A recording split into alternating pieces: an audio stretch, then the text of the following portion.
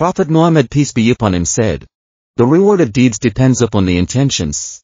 And every person will get the reward, according to what he has intended. Reference, Sahih Bukhari.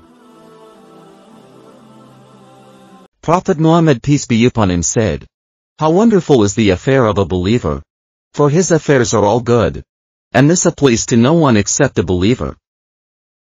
If something good happens to him, he is thankful, and that is good for him. If something bad happens to him, he is patient, and that is good for him. Reference, Sahih Muslim. Prophet Muhammad peace be upon him said, The strong is not the one who overcomes people, but the one who controls his anger. Reference, Sahih Bukhari.